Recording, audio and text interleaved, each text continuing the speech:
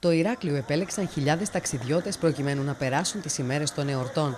Σύμφωνα με τα στοιχεία, η κίνηση σε αεροδρόμιο και λιμάνι ήταν αυξημένη σε σχέση με το 2017. Σε σχέση με την περσινή χρονιά, η κίνηση είναι αυξημένη 8 με 10% σε επιβάτες και οχήματα από και προς τον Πειραιά. Σε ό,τι αφορά το αεροδρόμιο Νίκος Καζαντζάκης, κατά την περίοδο από 20 έως και 29 Δεκεμβρίου αφήχθησαν στο Ηράκλειο 17.000 επιβάτες εσωτερικού, όταν το 2017, την αντίστοιχη περίοδο, οι ταξιδιώτες ήταν 15.700. Σε ό,τι αφορά τις πληρότητες των καταλημάτων των ξενοδοχείων της πόλης του Ηρακλείου, αυτή σύμφωνα με τις πληροφορίες αγγίζει το 70%.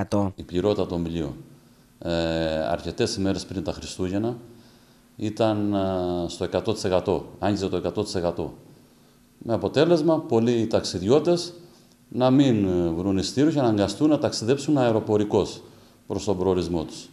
Μετά τις ε, μέρες των Χριστουγέννων, η κατάσταση ομαλοποιήθηκε. Την ίδια ώρα τα ορεινά θέρετρα της Κρήτης φαίνεται πως επιλέγουν οι εσωτερικοί εκδρομείς. Αυτές τις μέρες έχουμε αρκετό κόσμο τώρα τις γιορτές.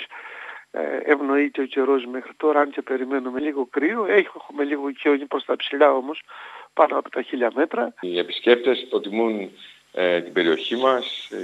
Ο εσωτερικός τουρισμός ακμάζει στην Κρήτη και το Ροπέδιο Λαστίου είναι ένας προορισμός και χειμερινός για τους ε, ντόπιους επισκέπτες. Η πληρότητα στα καταλήμματα των ανογείων φτάνει το 70%. Τα ξενοδοχεία έχουμε γύρω στα 70% πληρότητα από ό,τι έχω πληροφορηθεί. Υπάρχει δυνατότητα να ε, επισκεφτεί κι άλλος κόσμος σε να μείνει στα ανογεία. Ακόμα καλύτερη η εικόνα στο οροπέδιο Λασιθίου, το οποίο φαίνεται πως έχει πλημμυρίσει από κόσμο. Οι πληροφορίες μας είναι ότι τα δωμάτια, τα καταλήμματα, τα παραδοσιακά που βρίσκονται στην περιοχή του οροπεδίου Λασιθίου ε, είναι όλα over.